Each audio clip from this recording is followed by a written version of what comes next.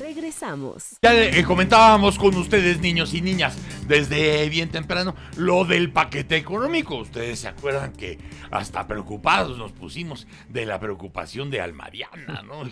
que casi no durmió y, traía los ojos secos, no sé si, si de, de, tanta angustia y todo eso. Y convencimos a Almariana a decir, bueno, espérese que llegue José Luis de la Cruz. Igual se pone peor, pero, pero ya así con con motivos, ¿no? Este, porque, porque, porque es, gente acostumbrada a estudiar rápidamente todos estos mamotretos, incluso casi podría, casi podría imaginar, no lo puedo asegurar, que ese mamotreto estuvo en sus manos desde antes eh, que subieran a la página de internet, eso no lo puedo asegurar, pero hay tanto expertise y hay tanto tiempo en la materia y hay tantas conocencias en el mundo del numerito que seguramente José Luis ya viene bien estudiado. Es más, no solamente estudiado, sino que lo hubiera, habría previsto muchas de estas cosas que vemos en el paquete económico presentado ayer al Congreso. Y José Luis de la Cruz está aquí, está aquí, como ya les comentábamos, para estas horas, todos los gremlins de la opinión, pues ya andan aplaudiendo por todos lados, ¿verdad? Algunos porque no saben ni de qué están hablando y otros porque saben de qué están hablando, les, les llora sangre por los ojos y a lo mejor alguno pierde el oído. Pero mientras eso sucede, José Luis de la Cruz está con nosotros. Hola José Luis. Muy buenos días, gracias por la invitación. No, gracias por venir, gracias por estar, porque en estos momentos es cuando necesitamos, y tú lo has sido siempre, un faro. Eh, que nos diga la cosa está por aquí, eh, suena así, eh, parece que esto va para allá, y, y, por eso acudimos a ti y te agradezco doblemente que estés con nosotros. Ya se entregó el paquete económico, ya lo tuviste en tus manos y en tus ojos. ¿Qué, qué, qué, qué? Cuéntanos tu reflexión. Bueno, digamos que la primera aproximación que se puede hacer hasta este momento eh, me parece que es un presupuesto que puede tener pies de barro. Eh, ¿En qué sentido? Eh, comenzando por el principio que me parece que es lo básico, el gobierno federal siempre hace su estimación de los ingresos que va a tener para poder ejecutar un presupuesto en función del crecimiento económico, de ese menospreciado crecimiento de las últimas semanas. ¿Y qué nos encontramos ahí? En el primer semestre del año, eh, la economía mexicana creció 0.2% en los primeros seis meses. Sin embargo, la Secretaría... ¿Tú mismo te burlaste de mí aquí? Cuando dije, a lo mejor, pues un punto siete, y tú dices, no, estás muy alto. Me acuerdo. Eh, bueno, resulta que pareciera que todavía sigue la expectativa eh, oficial de que eso se puede alcanzar, que esa existe la esperanza de que puede haber un crecimiento en la segunda mitad del año más vigoroso. ¿Por qué? Están presentando un escenario eh, para este cierre del 2019 de crecimiento de entre 0.6 y 1.2%. Eso básicamente qué implica en el rango superior implicaría que el segundo semestre vamos a crecer 2%, es decir, lo que no hemos visto. No. Pero aún en el rango inferior, que vamos a crecer más de 1%. Y ahí me parece que lamentablemente las tendencias que ya conocemos de inversión, de lo que se conoce como eh, indicador adelantado y el coincidente que publicó el INEGI la, semana pasada, marcan que va a ser muy complicado que eso ocurra porque la economía mexicana no ha tocado fondo. Eh, esa posibilidad cabría en la recapacitación de una serie de factores que yo me imagino que en, este paquete no se ven. Y justamente para allá voy. Eh, en ese sentido, la tendencia que este escenario económico del 2019 le va a heredar al 2020 no es la más favorable para lo que sigue. ¿Qué es lo que nos mm. presentan para el 2020? Eh, un crecimiento estimado centrado en 2% nuevamente, pero en donde curiosamente eh, lo que uno plantearía es que entonces para que ello ocurra va a requerir inversión, va a requerir ingresos petroleros sólidos y eso no está en el paquete presupuestario. Para llegar al 2%. Efectivamente, y romper con esta inercia del 2019. ¿Qué es lo que tenemos eh, de, inicio? Eh, para la inversión física, un recorte presupuestal de 5.4%. Es decir, la los recursos que se van a canalizar a carreteras, al propio sector energético, vivienda, hospitales, etcétera, van a ser menores en términos reales a los que se presentaron este año, que de por sí ya son a la baja. Entonces. Entonces, por el lado de la inversión pública no hay fundamento para pensar que va a haber crecimiento económico. Además, el, presupuesto lo que tiene es eh, una eh, fragilidad en el sentido de que los ingresos que están calculando en términos reales van a crecer 0%. Es decir, con respecto a los ingresos que se tengan en este 2019, lo que se está calculando es un crecimiento de cero para el año que entra. Básicamente es como decir, si hoy tienes 100 pesos, para el año que entra vas a volver a tener 100 pesos, ya descontando la inflación. Sin embargo, con eso lo que están planificando es un mayor gasto corriente, un mayor gasto operativo. ¿Y eso qué implica? Pues que se va a tener que recortar la inversión física. Y entonces lo que al final del día uno tendrá que preguntarse es de dónde va a salir el crecimiento sobre todo porque en el mismo análisis del presupuesto lo que se presenta es un entorno internacional muy complejo, en donde no están las condiciones para que del exterior llegue esa fuente de crecimiento, y entonces uno supondría que eh, el crecimiento tendría que salir del sector privado. Sin embargo, cuando uno observa los cambios fiscales que se están haciendo, en donde, como el presidente dijo, no se crean nuevos impuestos, sin embargo, sí podríamos poner en duda si no se están aumentando otros, porque al final del día hay impuestos, por ejemplo, para lo que se conoce como economía digital, va a haber eh, un mayor seguimiento, por ejemplo, al arrendamiento de vivienda, es decir, quien hoy no esté reportando eh, eh, el pago de una renta que le está haciendo un inquilino, pues va a haber mayor supervisión. Y en dado caso que, por ejemplo, tengas un problema con tu inquilino, pues no vas a tener exactamente toda la protección de la ley si no reportaste tu, pago de impuestos. Es decir, viene un apretón fiscal fiscal eh, en donde el gobierno va a intentar asegurarse eh, la percepción de los ingresos con el poco crecimiento económico que exista.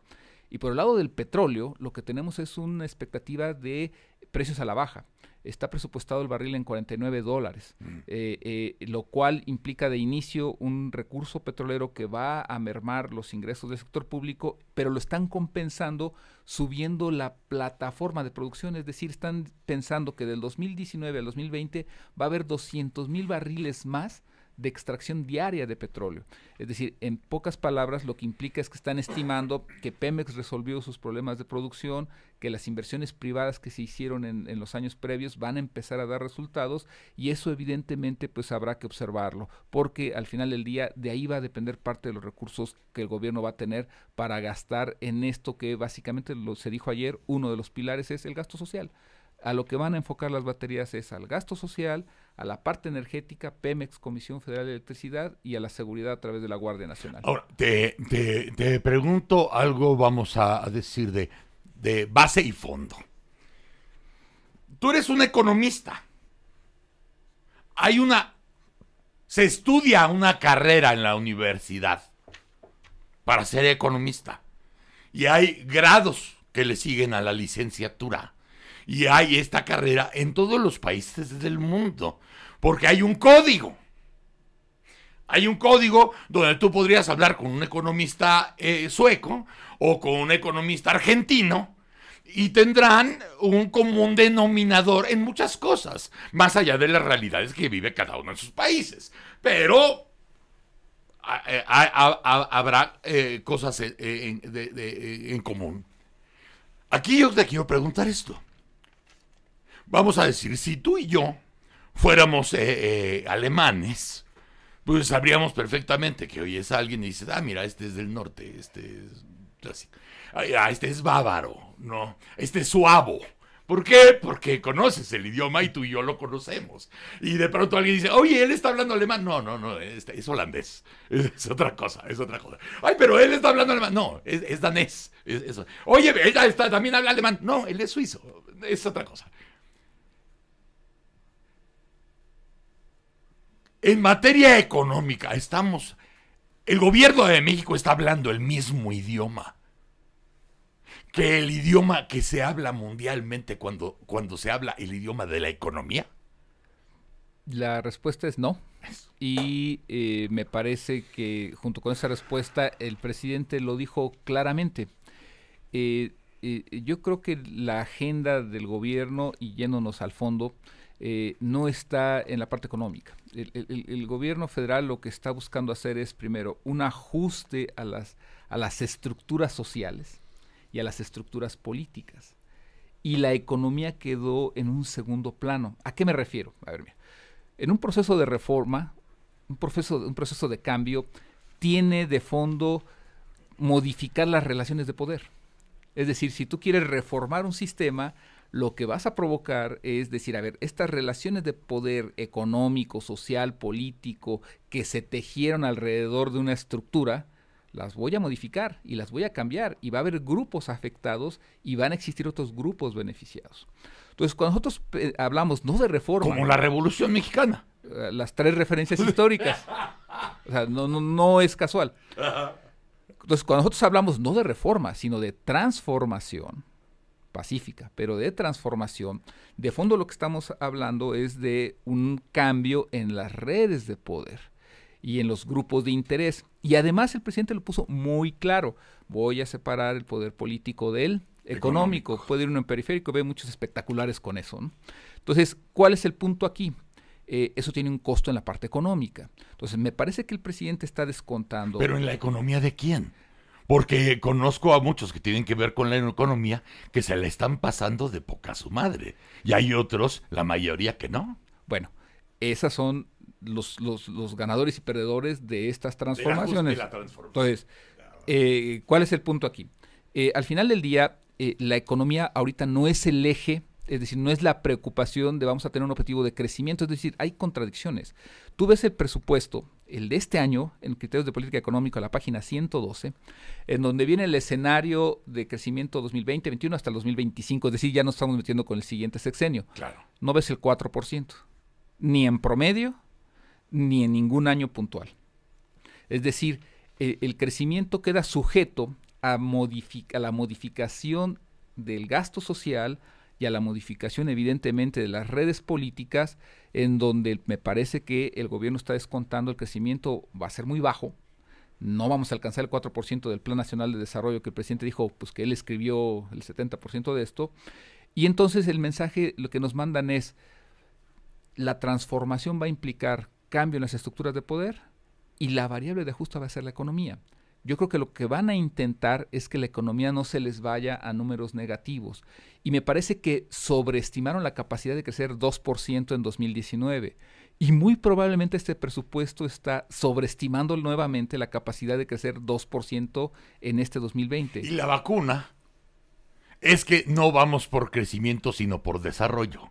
En donde hay una contradicción básica ahí, porque el, propio presidente lo dijo, desarrollo se forma de la combinación de crecimiento y de distribución equitativa. No vamos por, por sexo, vamos por placer. Supongo que algo así. no, porque dices, bueno, es que generalmente una cosa va con otra. Pero también empiezan las vacunas. O sea, me refiero a las vacunas que al principio en campaña era vamos a llegar al 6% y al 7%, y hoy el recule es, lo importante no es tener mucho, es estar contento y empezar a, a, bombardear con la idea de que no tienes que tener mucho para ser feliz. Puedes estar jodido y feliz. Y mientras más jodidos haya, es mejor porque la felicidad aumenta. Y hay una cuestión implícita ahí que estuvo en el, en el informe de gobierno. Es decir, a ver, el crecimiento prácticamente 0% ahorita. Sin embargo, tenemos más desarrollo, más bienestar. ¿Qué significa? El mensaje es, con lo que hay, vamos a distribuirlo de distinta manera. Es decir, el siguiente capítulo de esto va a ser, de aquí al cierre de año, ¿qué va a pasar con los salarios mínimos? Seguramente va a haber un incremento sustantivo. Eh, el gobierno mismo, ¿qué hizo? Bajó altos salarios, incrementó un poco los, los, los de abajo eh, eh, en la parte de impuestos lo que es es a extraer un poco más de recursos de quien tiene un poco más y la idea es redistribuir. Entonces, el trabajo que se está haciendo ahorita me parece es de transformar esas estructuras para buscar una mejor redistribución. Ahora, el problema de esto es que eso lo que no está observando es que para que este país funcione necesita crecer. Es decir, la redistribución hay que mejorarla, pero no puedes frenar el crecimiento, es más, no debes frenar el crecimiento. ¿Por qué? Hoy México es una economía de 24 billones de pesos ah, en lo que se conoce en términos nominales, es decir, en lo que traemos nosotros en el bolsillo, monedas, billetes, 24 billones. Un punto porcentual de crecimiento son 240 mil millones de pesos. Es decir, dos puntos que es lo que nos prometieron para este año son casi 500 mil millones de pesos. Si no los creces, dejaste de generar en esta economía 500 mil millones de pesos. ¿Qué significa? ¿Cuántos hospitales significan? ¿Cuánta ropa? ¿Cuánta alimentación?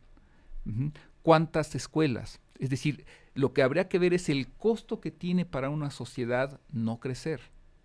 Cada punto porcentual son casi 250 mil millones de pesos de oportunidades que dejamos de tener, pero que sí están surgiendo en China, que sí están surgiendo en Tailandia, es decir, sí están surgiendo en países con los que estamos compitiendo, que están renovando su pero maquinaria. No, pero no hablamos ese idioma. Efectivamente, porque estamos hablando el idioma de la redistribución.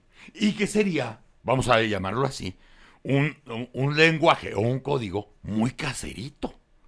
Porque más o menos lo que imagino por lo que platicas es si antes donde comían 10 millones comían 50 millones Hoy, eh, donde, donde, comen, donde comen menos 10, donde comen menos cantidad, esos 10 millones, comerán 100 millones. No importa cuándo te toque, pero te toca porque estamos redistribuyendo. Y si antes te tocaba una piernita de pollo a la mitad del país, ahora van a tener que partirse la piernita en cuatro y van a poder tragar 100 millones y no deja de ser casero y no deja de ser quimera. Y hay un elemento eh, implícito ahí, o dos, me parece. El primero es, ¿qué pasa si detrás de esto es el país no está preparado para crecer? Ay, cabrón. Es decir, ¿qué pasa si cuando recibiste, el, te dieron el escritorio ahí en Palacio Nacional, bueno, que antes estaban los pinos, abriste los cajones y estuviste buscando la fórmula del crecimiento que estaba ahí muy guardada y resulta que no había esa fórmula? No hay tal no hay tal. Entonces dices, hay que hacerla, pero eso lleva tiempo. Y dos, ¿qué, ¿y qué pasa si en el gabinete económico la parte del crecimiento económico, que es política industrial, que es política agrícola, que es política para el sector servicios, es decir, para la economía, eh, eh, pues tampoco estaba preparado para. es decir, ¿qué pasa si... que no tienes los elementos para echar a andar. Y entonces uno entendería por qué en los criterios de política económica, no nada más de este año, sino del año anterior, el 4% nunca estuvo. En el año anterior, eh, en ese paquete que todavía armó Carlos Ursúa, lo que tú traías de crecimientos en ese momento, de 2019 a 2024, nunca pasaron del 3%. Nunca. En este, el mayor crecimiento para el 2024 y el 2025 es 2.7% sí ponen así como pie de página que, bueno, sujeto a que si son exitosos los proyectos de Pemex, etcétera, etcétera, podría ser más, podría. Pero de inicio, de saque, no eh, tenemos ni siquiera un escenario de crecer más de 3%. Y entonces, ¿qué pasa si nos están diciendo la verdad? Es decir, esta economía eh, no está lista, no estamos preparados para comprometernos con el crecimiento, pero sí con la distribución. Ya. Porque eso ya está en la mesa. espérame, deja, lo voy a apuntar, cabrón, porque es como no borren este tweet, cabrón. Este, eh, no estamos preparados para el crecimiento. Para el crecimiento. Para el crecimiento. Entonces nos queda distribuir. Redistribuir lo que hay. Porque eso ya existe. Redistribuir lo que existe. Entonces, no hay plan. O sea, podría ser una de las posibilidades. No es una aseveración. Para que no empiecen. Porque acuérdate que los pinches gremlins. No me dijeron que somos putos. No, no, no, no, no, no, no. Es una posibilidad. Que no haya fórmula para el crecimiento y que no tengamos al personal humano preparado para hacerlo, para hacer un plan. Tú hablabas, ¿cuál es el lenguaje en estos momentos del crecimiento? Se llama, en el mundo, en el mundo similar a economías como México, se llama biotecnología, mecatrónica, robótica. Eh, nosotros todavía estamos en, haciendo alquimia para encontrar esa piedra que transforme en oro las cosas cuando en el mundo lo que se está haciendo es ciencia. Es decir, tú estás haciendo robots para automatizar, para generar procesos eh, eh, de alta tecnología. Y eso es lo que México se está perdiendo cada año que no crece, o cada año que crece 2%, porque a lo que nos enfocamos es a lo básico. Y sí podemos hablar de que hay sectores como la automotriz, eh, eh, el que se está incubando en la parte aeronáutica, pero pues son procesos prestados, ¿no? es decir, son marcas extranjeras que vienen a México, hacemos maquila de smoking y eh, tenemos, sí, clústeres muy bien definidos, país de 120 millones de habitantes, 125, eh, seguramente va a tener siempre 5, 6, 7, 10 millones que van a estar bien y que van a estar en esos procesos, pero el problema es que el resto del país se va a seguir rezagando y en estos momentos dejar de crecer es aumentar el rezago y generalizarlo. ¿Qué le pareció al Mariana? eh, Valió la pena la espera, ¿verdad? ¿Se, da usted cuenta, querido señor, cómo el trago no fue menos amargo? No, pero ya sabe por qué. Pero ya sé por qué. Porque nada más estaba como bebiendo cicuta y era refresco. Híjole. Ahorita es cicuta. Provecho. Híjole. Ya tenemos ahí. Gracias a José Luis. José Luis, de veras, gracias. Digo, gracias por partirnos la madre. Gracias. bueno, no eres tú. Más bien, nos, nos das el diagnóstico de, de qué se trata este paquete económico. Yo nada más les cuento un cuento. ¡Ya! Es impresionante. Pero, pero sí, nos quedamos con dos ideas clarísimas, ¿no? Este, no estamos hablando el mismo idioma del mundo. Y el paquete económico tiene pies de barro. Y las consideraciones este, eh, eh, esta última consideración. ¿Qué tal si nos están diciendo la verdad? Y no hay plan de crecimiento. Y no hay quien sepa de crecer. Y que a final de cuentas digan, todo el tiempo estuvimos pensando en la redistribución. Lo demás es lo de menos. Había cuatro bolillos, los dividimos distinto. Y eso es lo que hay. Gracias, José Luis. Gracias por la invitación. Muchas gracias, José Luis de la Cruz. Vamos a un corte. Esto es El Mañanero.